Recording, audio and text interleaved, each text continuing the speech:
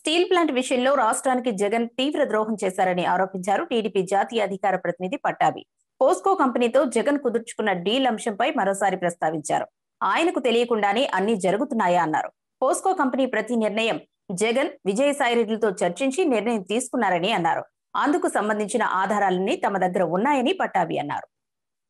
సమీప బంధువు జగన్ రెడ్డికి వీళ్ళందరూ కీలకమైనటువంటి కమిటీల్లో ఉండి ఎక్కడా కూడా స్టీల్ ప్లాంట్ అంశాన్ని ప్రస్తావించకుండా రాష్ట్రానికి తీరని ద్రోహం చేశారు.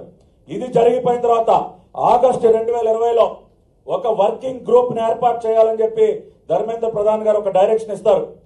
ఆర్ఐఎన్ఎల్కి పాస్కోకి. అప్పుడు కూడా మాట్లాడరు. ఇక్కడ ఇంకొక ఆశ్చర్యకరమైనటువంటి సంఘటన.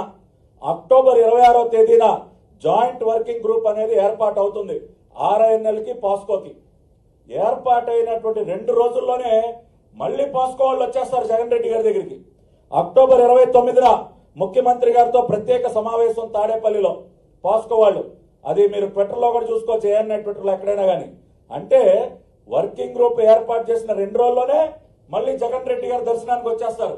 అయ్యా మేము వర్కింగ్ గ్రూప్ ఏర్పాటు చేసుకున్నాం. ఇంకా బండి ముందుకెళ్తోంది. మీ ఆశీర్వాదంతో అంతా మనం అనుకున్నట్టే జరుగుతుంది.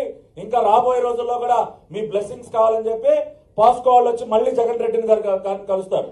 అంటే ఇక్కడ మీరు ఒక్కసారి అబ్జర్వ్ చేయండి. పాస్కోకి సంబంధించినటువంటి ప్రతి కీలక ఘట్టానికి ముందో వెనకో జగన్ రెడ్డితోనో విజయసాయి రెడ్డితోనో సమావేశాలు ఎందుకు జరిగాయి? ఇవాళ నేను డేట్లతో సహా చెప్తా ఉన్నా. ఏ కుట్రలో భాగంగా మీరు ఈ సమావేశాలను ఏర్పాటు చేసుకున్నారు? సూటిగా నేను ఐదు కోట్ల రాష్ట్ర ప్రజల పక్షాన్ని అడుగుతున్నా. ఆ సమావేశం అయిపోయిన తర్వాత డిసెంబర్ పదిహేడున విజయసాయి రెడ్డి మళ్ళీ ధర్మేంద్ర ప్రధాని గారిని కలుస్తారు ఢిల్లీలో. కలిసిన నెల రోజుల్లోనే జనవరి ఇరవై ఐదుకి cabinet committee on economic affairs hundred percent డిస్ఇన్వెస్ట్మెంట్కి ఆమోదం క్లియర్ చేసేస్తుంది.